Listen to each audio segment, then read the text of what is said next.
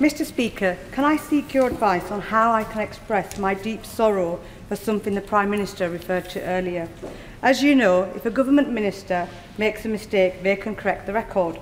I hope you will allow me to say that I fully acknowledge that I have made mistakes and I wholeheartedly apologise to this House for the words I used before I became a member.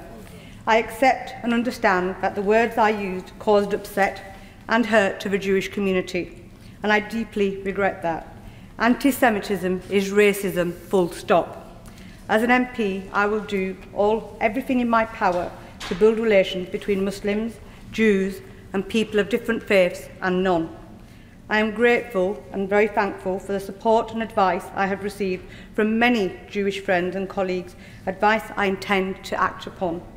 I truly regret what I did, I did and I hope, I sincerely hope, that this House will accept my profound apology.